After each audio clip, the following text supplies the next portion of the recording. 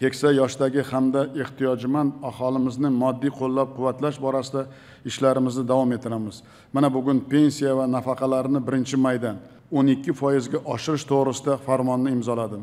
Shuningdek eng kam pensiya oladigan yetti yuz yigirma besh ming nafar aholining pensiyasi o'n to'rt foizga oshiriladi. Bundan tashqari to'qqizinchi may arafasida urush qatnashchilari konslagerlar mahbuslari va leningrad qamalida qatnashgan fuqarolarga o'n besh million so'mdan beramiz. O'tgan yilga nisbatan bu ancha yuqoriroq bu. Viloyat tuman shahar hokimlari sektor moliya bo'limi va bank rahbarlari uch kun muddatda aholiga oshirilgan pensiya va nafaqalarni to'lashni boshlasin.